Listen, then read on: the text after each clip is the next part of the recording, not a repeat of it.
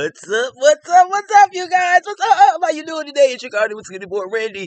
Mwah! Thank you so much for being here. I hope you're having a great, growing, blessed, and prosperous day. If you're new to the channel, welcome to Gardening with Skinny Boy Randy, where beginners and experts are always welcome. I love having you guys here, okay? Also, click subscribe, leave a thumbs up, thumbs down, just not two middle fingers, okay? Okay? Thank you so much for being here. Y'all, it's hot out here. It's really hot. Zone 7 in Richmond, Virginia. And I'm going to make this video short and sweet because I be done fell out and came on back. Also, if I can't answer a question here, head on over to my Facebook group.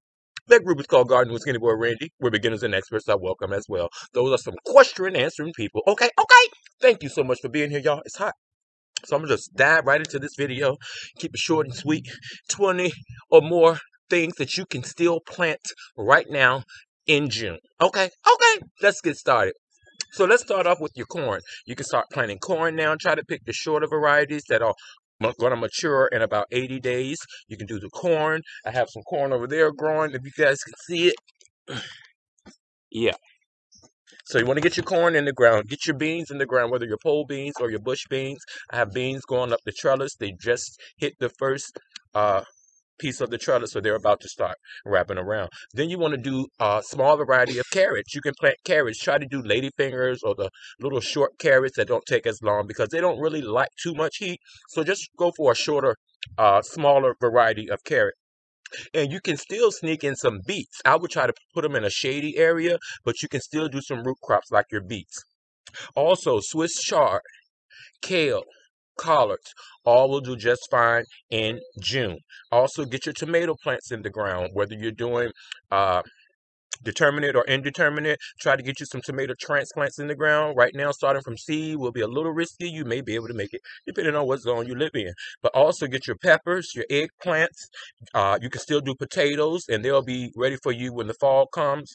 And you can do all of your squash, your melons, your zucchini, um, cantaloupe, pumpkins, cucumbers, all these things can be started directly from seed because they don't take long to grow. Y'all, I am really sweating, and I hope I don't fall out and have to call now on YouTube. Okay, but yes. So also, like I said, your corn, your okra. You can do some herbs like your basil, parsley, oregano, dill. Uh, summer crisp lettuces. Yeah, there are some lettuces that grow in the summertime. You want to try to shoot for the like Nevada variety or anything that can take the heat. But there are some summer crisp lettuces that you can get in the ground. Also, get your flowers in the ground, you guys.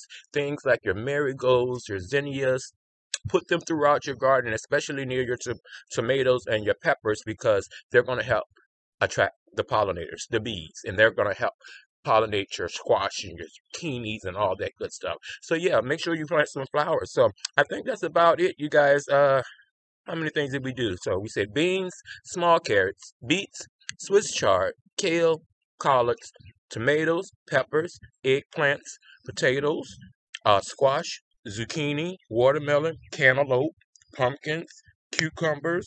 Uh, get your flowers in the ground. Get you some corn and okra planted. Also, your uh, herbs like your basil, parsley, oregano, and dill. I don't recommend doing the cilantro because it bolts really fast in the sun. So let me just walk you around and give you a little tour of some of the things that I just told you about. Okay. So over here, this is my fruit tree plant, and in the the base of it, I put sugar baby watermelons, and they did great last year. So as you can see, we have sugar baby watermelons, we have cantaloupes, all planted with the fruit tree, and they did just fine. And here are some eggplants. We have peppers, tomatoes, cucumbers are coming up nicely. We're saving seeds from this was our choy. So we're saving the seeds from that. That's why this area is tore up, and then we're going to replant some things down in there. And then you see some kale. We have broccoli. And I've already harvested some of that broccoli. Over here, we have our flowers I was telling you about. These are zinnias. We get those in the ground. These are my cabbages. They are huge. Saving seeds from our giant red mustard greens. This is our corn. And you guys, this is why I like to start my corn in containers. I didn't do it this time as an experiment because you never know what seeds are going to germinate and which ones don't. So when I start in containers, I know exactly the seeds that are good and valuable and I can plant them directly in the rows. So let's go on over here. See our onions, they're starting to really get large. These are some lettuces that can take the heat. See that? more onions, more tomatoes. We have peppers. And I have the water going, so I don't want to get too close with the camera. We have peppers, more tomatoes. These are our beans. They're just starting to go up the trellis. More cucumbers. Yep. And then over here, we're saving seeds from our, look at these seed pods, you guys. They are huge. So we'll have more champion collards to grow next season. Now these are our root crops that we've already pulled up. Yeah. And these are going to be our watermelon beds over here. As you can see, they're just starting to vine and flower. So this one is doing extremely well. Mr. Ronald planted this one. I'm, i think it's a watermelon or either cantaloupe. But yeah, there you have it, you guys. These are all things that you can still be planting in June.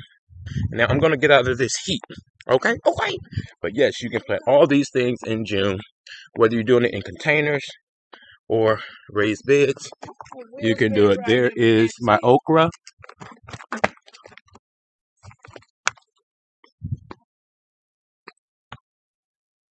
And then as you can see, we have more tomatoes, strawberries, and all that good stuff.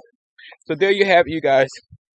20 plus things that you can be growing in June on your farm, just like we do here on the Skinny Boy Farms. So I hope this helps you out just a little bit. Don't forget to click like and subscribe, you guys. Oh, let me show you some of my seedlings. Squash, cucumbers, zucchini, yeah, you guys get those seedlings going. Sugar baby watermelon, all that good stuff. So I love you guys. Thank you so much for being here. Remember to live, love, laugh, grow stuff and eat it. You are the best. And don't forget to check out the Facebook group, Instagram, and Twitter. Bye bye.